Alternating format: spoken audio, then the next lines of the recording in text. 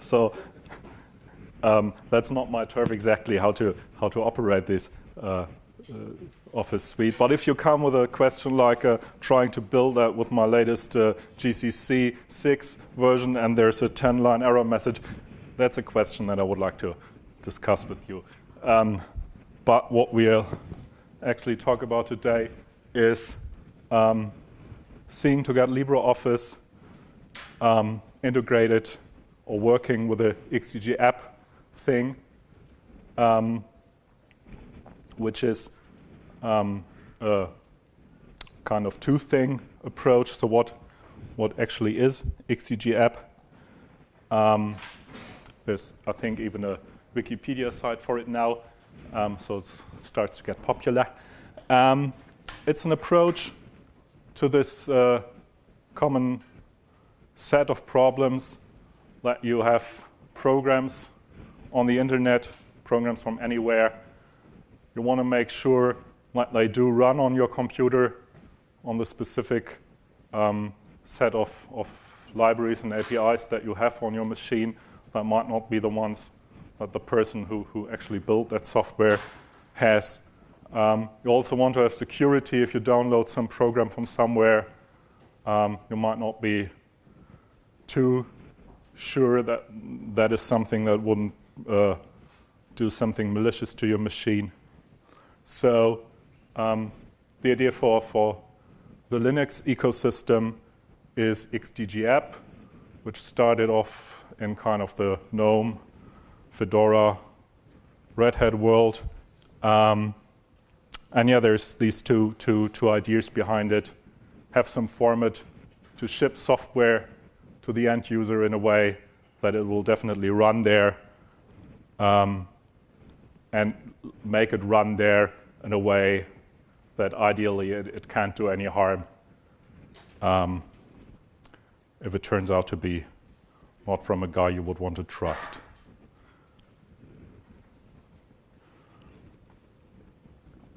So the other part of the puzzle is LibreOffice in this case.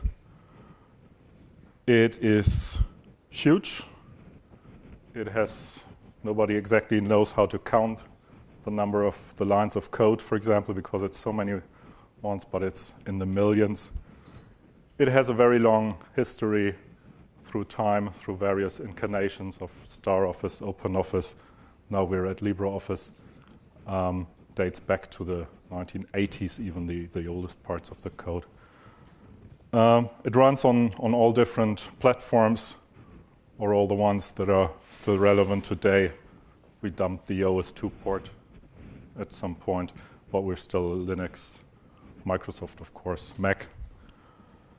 Um, building that is often kind of a challenge because um, we come with like in the hundreds of configure switches, you can enable, disable kind of anything from whether you want to build a debug build through uh, what um, help the help content and the UI and in what kinds of languages you want to bring that along. And all, those, all the libraries that typically on, on Linux you find on the system. Um, but on, on Windows, for example, they are not there. So we need to bring along these, at least for Windows anyway. So we have a, a zoo of like 100 um, submodules that are integrated in our code, so we don't ship the actual code of those. You need to, to uh, get them from the internet as well as tarballs. We automate that, but then we integrate that in all, into our build system so that we have just one make everything that then goes into all these submodules that you did want to include uh, and, and, and builds that as well.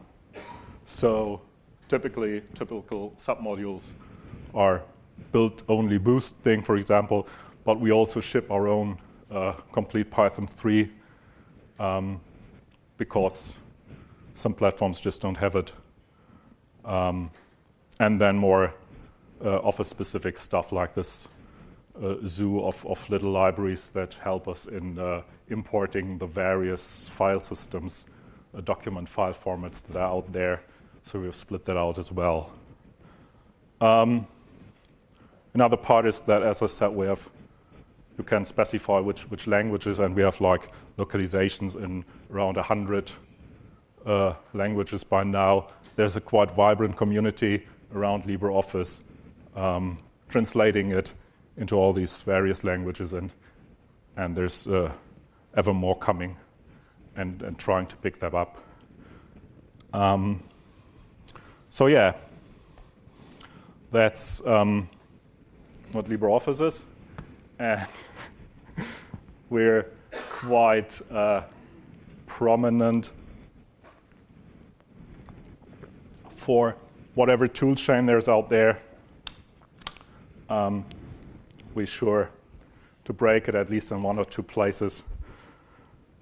Um, so that's also my my main point of interest in, in, in this big office suite is not the applications that you actually run, um, but this large corpus of software that when you think about some, some compiler improvement, for example, um, that would be cool to try out or implement in, in Clang as a plugin, um, then you're sure if you, if you run it on that million line code base, you'll at least find one or two places where that uh, your check actually hits and, and you can fine tune it there and, and be happy that you improved our code base with it. And that's great.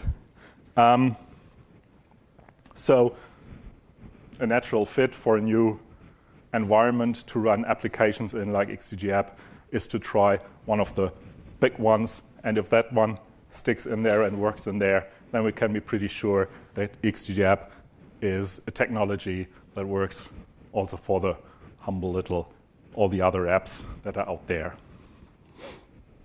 So what did we do? Um, I'll first start with a with a part uh, about actually building LibreOffice so that it fits into XDG app.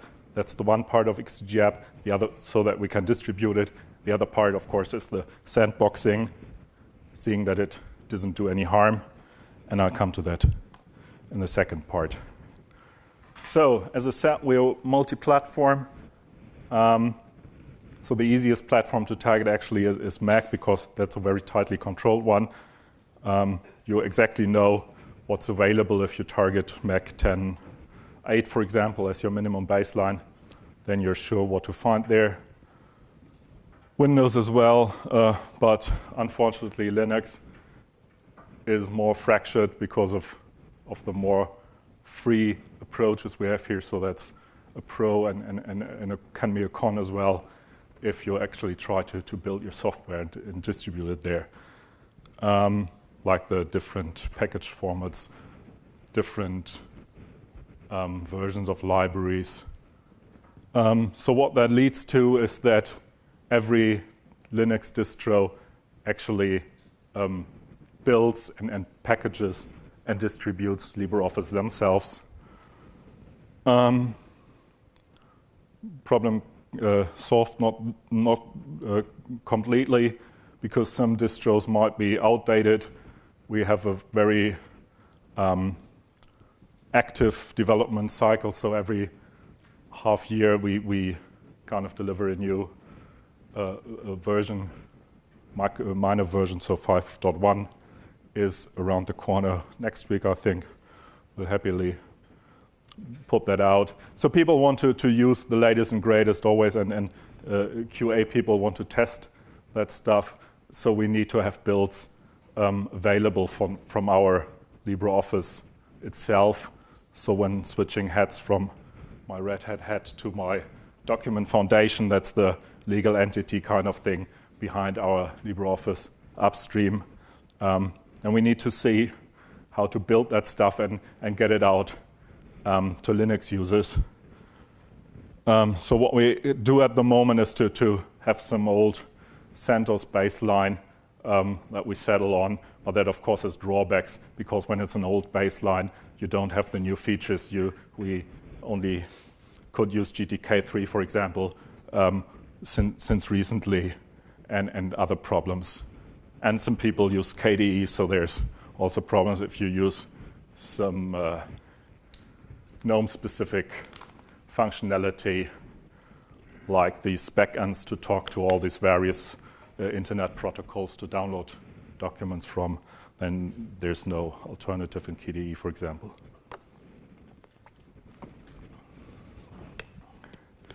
So we need something better there. And our hope, of course, is that the XDG app will gather enough traction that it is the new format in which we can um, deliver this to all happy Linux users. And uh, another benefit, of course, will be that for a distro, um, you can stay on a, on a stable uh, baseline there, on a, on a, stable fundament. Don't need to update GNOME on your complete distro just to benefit from GNOME updates um, that you would have in, in LibreOffice. Um, so could also be uh, an, a, a cool feature for distros like RHEL. Another um, use case where it might be or will definitely be interesting is um, there's a um, LibreOffice developer who had that cool idea. Um, you want to find out something broke with one of the latest builds, um, something you can see in the UI doesn't work anymore. So what you do is you git bisect that. When you want to do that with LibreOffice, the problem is building LibreOffice can easily take hours. So your bisecting experience will be very poor and you'll need tons of coffee uh, for the in-between times. And you can't easily tell one of our eager QA people um, who would like to bisect that down, but you can't tell them, um, yeah, see for yourself how to build that and, and, and see which, which uh, build actually uh, broke it. So the idea, do a Git repo for bisecting, but we don't put the code, the, the code in there, but the pre-built binaries. So you do a, for every version of the source, you do a build, you put it in a Git repo, that one does grow, but not that much, because many of the libraries will stay the same from build to build. So we have now huge Git repos full of versions from like the 5.0 to the 5.1 time period of LibreOffice. And the QA people just once download this huge blob and then Git bisecting is a snap because actually switching checking out the actual state is, is very, very fast with Git. So that's cool, but the, the people or the, the person who invented that, and then that was a cold winter, uh, so he started up his fat machine and actually did all these builds because you once need to do these, these builds. Uh, and he had a warm house for a while doing that. But when you do a mistake there and, and uh, do it not on our CentOS baseline, but for example, are stupid and do it on a Ubuntu thing, uh, then what will fall out of it is uh, binaries that do work mostly, but there might be one library on Ubuntu that we depend on that has a different uh, version than uh, on, on Fedora. So many of the people who want to run these uh, can't actually use them uh, that mistake did happen. The actual fix, uh, happily, was to only do some symlinking of, of uh, just the name was, was wrong for that system library, so we could work around it with a symlink. Well, that guy didn't want to go back and, and reheat his house again because by now it was springtime. Uh, so if he would start it out with XDG app in the first place, that problem would never have happened. So this is another use case. Um, where building to a well defined platform that is guaranteed to run on everybody's machine uh, is definitely a win. By the way, if there's any questions, you can just um, ask now or wait until later. Um, so, the building, actually building LibreOffice uh, for XDG app is uh, still quite in the in the kind of uh, experimental stage. So there's no uh, official repo of it yet, but uh, I do manage to get it built. The the for example the latest uh, LibreOffice version. Um, what you do to get that build is the idea of XDG app is that you have some specified runtime, like there's, for example, a GNOME 316 or a GNOME 318 uh, runtime that has a, a, a, a defined set of uh, functionality of libraries. Um, then there's an, the, the kind of SDK complementing that, that you also have the, the Devel headers uh, also available, which you don't need at runtime, of course, but for, for actually building that.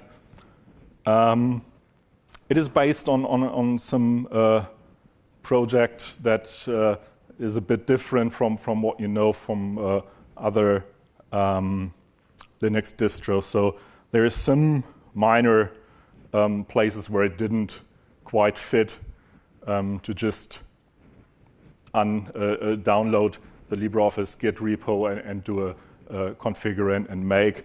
For example, we're using some uh, obscure Perl code still in our millions of lines to, to bundle stuff up. That is from, don't know, 20 years old stuff that nobody ever bothered to clean up uh, or rewrite in Python or whatnot. And that uses some, some code that's just not there in that uh, thing.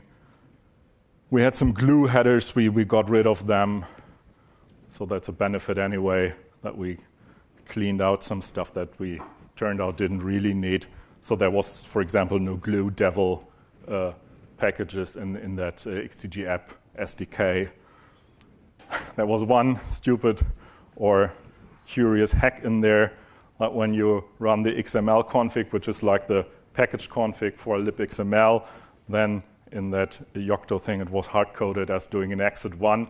So I, I wondered why our internal copy of libxml refused to, to, to work when to compile until I dug deep enough into, deep enough into that to, to find it out. Um, I disabled some of our zoo of, of uh, stuff that, that didn't quite work. Like there's some minor issues with uh, uh, trying to get GStreamer. We have a GStreamer backend we have a GStreamer 1.0 and a GStreamer 0.10 uh, backends in there. So the 1.0, uh, there was some glitches. I just, for the first experiments, I just left it out and, and have to revisit um, how we get that working. Um, left out our whole Java, so the option would be to, to include a JVM uh, in our bundle as well um, to get our Java parts running if you want to use that at all. Um, but uh, what fell out there already is quite big with 300 megs. So we're definitely one of the bigger um, bundles that will be available for XDG app. The idea is that, of course, smaller apps will be just tiny in comparison to that in, in what you need to download. That's the price for our heavy thing. Um, so before coming to the Second part, I guess I'll give a quick demo of what we have. Um,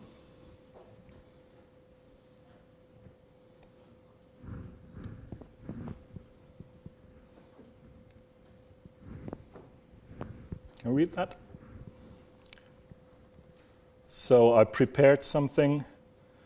Um, and called it LibreOffice, LibreOffice.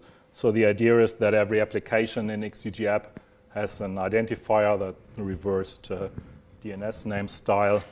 Um, so I built that, uh, packaged that up, um, downloaded it from my computer to my computer, installed it in the local XDG app um, cache to have it available there, and then you run it that way and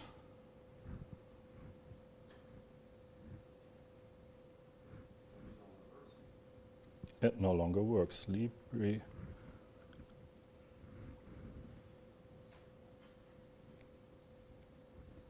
Did I mistype that? Or what is it?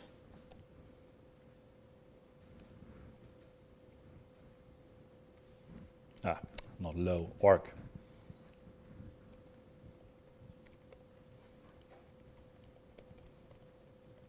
So the error messages from XDG app are still a bit, there's room for improvement there.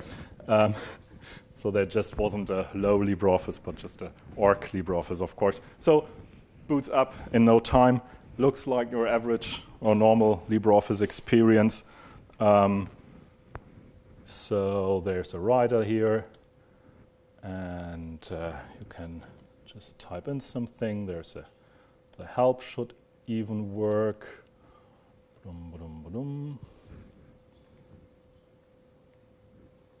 No, that's the other one. Help should even work, help won't work. Demo time. Doesn't matter, but um, we want to open some document to edit it. Um, where are my documents? Well, they're they're not here. My computer, what happened? My home directory is completely empty. Um, yeah, that's because I, the thing I built here um, also uses the second part of the talk, the sandboxing, that this instance of LibreOffice looks like a normal one but doesn't have any access to, to anything on your machine.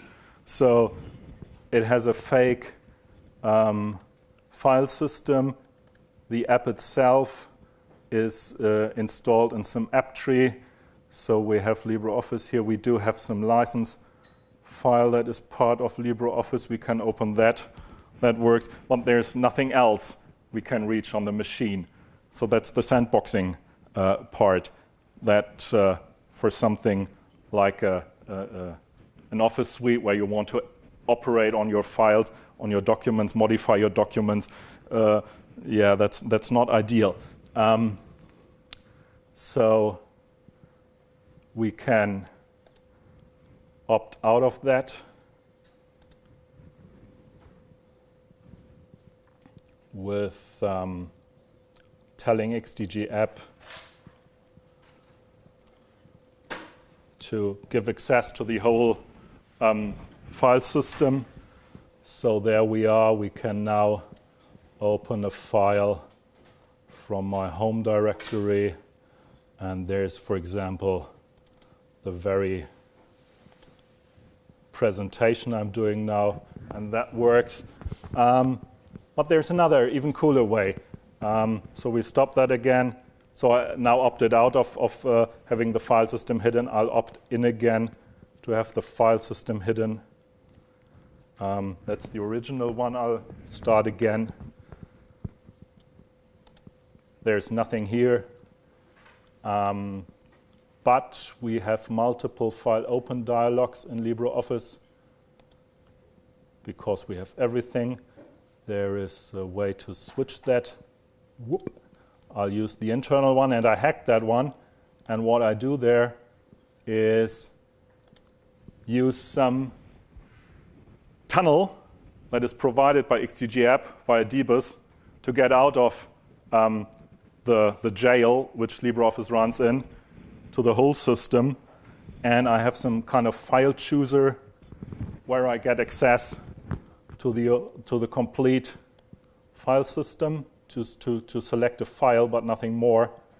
Um, so I can go to my um, slides here, select them, open them. What happens there is that I don't get access to from, from inside the, the jail to the outside. I just get access to that file chooser that picks that file for me and then tunnels it back in. Just that one file, nothing more. Um, and it's even read only here. I'll come back to that in a second. Um, so that's the idea of how to get access to, to your functionality you want to have inside your XDG app jail. Um, via these, these uh, portals that connect you with the outside world in a, in a secure way. Um,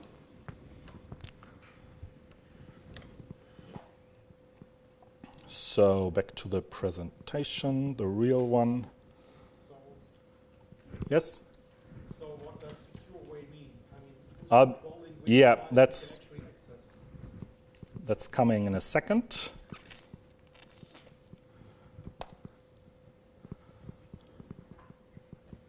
Um, so that's basically what I what I said. With that opt-in, opt-out, you can have that for for the file system and, and for other things as well, for talking through sockets and, and stuff like that. There's a fine-grained way of telling XDG app which parts of the outer world or of the of the uh, system you want to, to uh, get make available to the app. Um,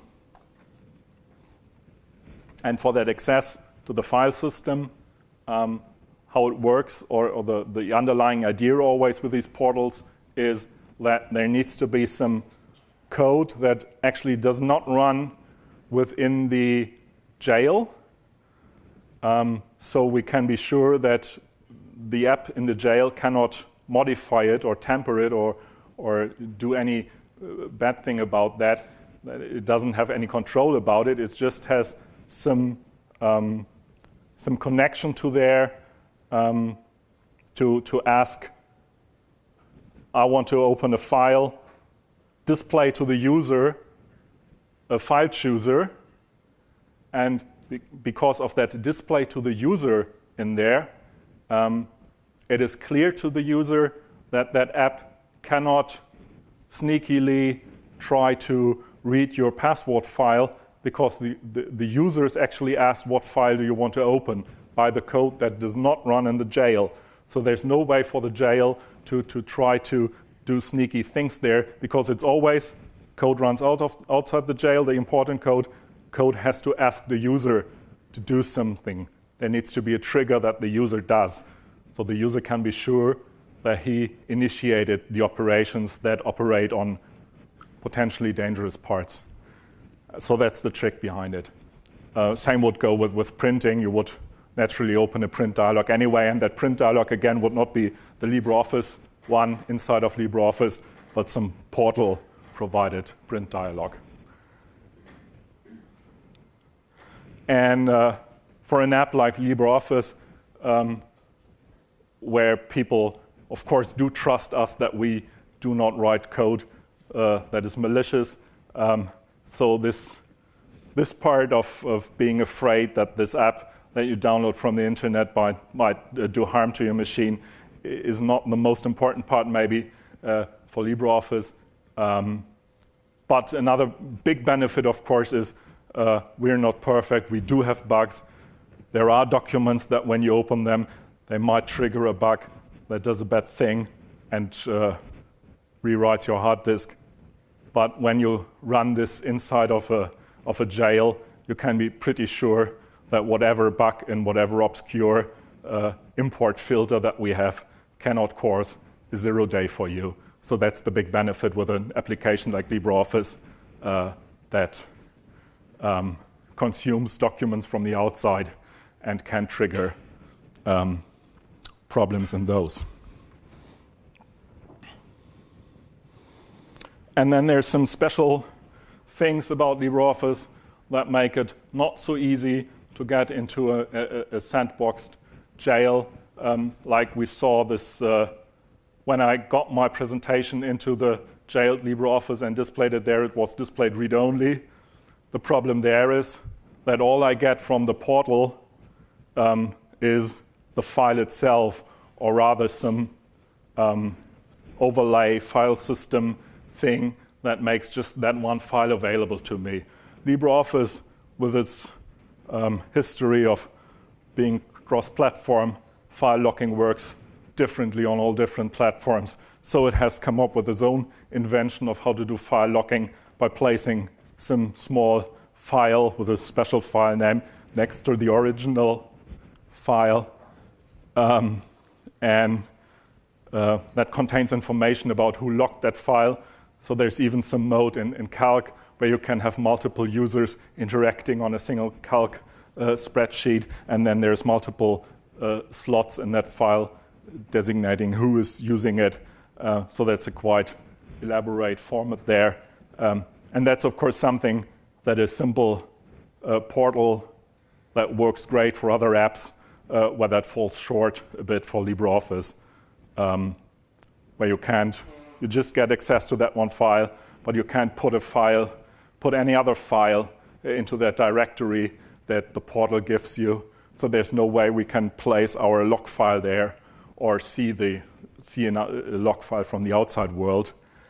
Um, so we figure out we can't put a log file there, so it must be a read-only document, so we uh, display it read-only. Um, the API for, the, for those portals, like this uh, uh, file chooser portal or a print dialog portal, that's all not set in stone yet. That's still work in progress in a, in a way. Um, so there would have been um, the first approach how to do that uh, would have been a bit easier for LibreOffice, uh, but we'll certainly find ways around all that. Plus, um, this is all bonus. So the, big, the, the good thing about XDG app being this bundling or packaging so that you can easily distribute it uh, can be seen uh, independent from the second part, from the sandboxing. So you can benefit from all the things of the first part um, without actually needing to modify your apps so that they live in this uh, jail uh, well, because that does mean you need to, to modify, in, in, many cases, needs to slightly modify your apps. So, for example, with this uh, file dialog, that you need to talk to that special portal file dialog, so you need to, to do some uh, changes in the code there. But for the first part, um, that's generally not needed.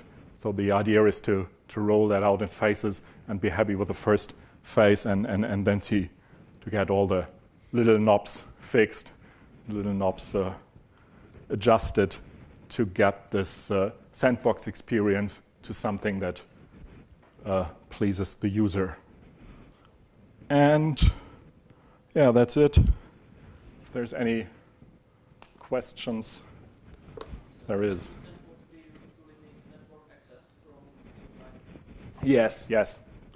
And this one was, ex- for example, uh, allowing no uh, access at all. Uh, so you can configure that at the time you, you uh, build your application and, and, bundle it up. For XDG app, you, you specify at that time what the defaults are that you want, but then, of course, they can also be overridden um, uh, at, at runtime when you, when you start that up. And of course, the idea is not that the end user will type in that XDG app and mistype and get a, confusing error message as I did, uh, but that, that will get integrated into GNOME software, for example, that you just can download it from some well known re, uh, repositories of, of XDG app applications and just run it with a click as you, as you normally do. Scarves. There was one going up there. The man is sleeping. And there was one uh, there. Any more scarves? Any more questions? There's one.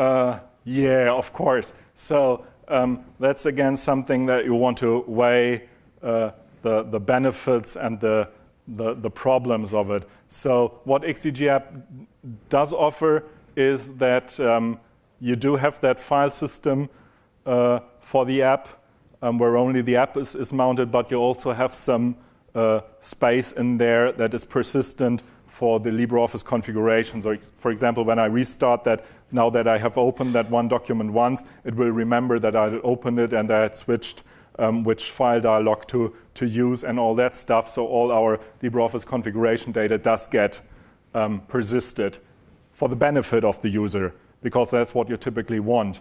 Um, but of course, that can um, mean that uh, you can persist some, some, some kind of problem inside the jail.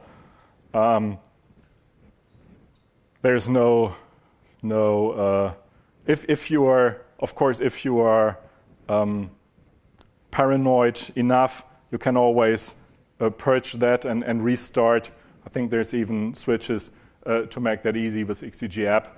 So if you want to be very, very sure that there can't be any problem with the multiple documents you open, or once you open one document and that does look suspicious, you can flush out the cache with the downside that all your tweaks to, to the LibreOffice uh, UI configuration stuff will be gone. But, but you can uh, control that and you can have multiple uh, instances of an XDG app uh, that behave differently in that way. So you could have that one just for these very obscure documents uh, from your employer that you're not sure that they, you don't want to look at them in the wild. Thank you.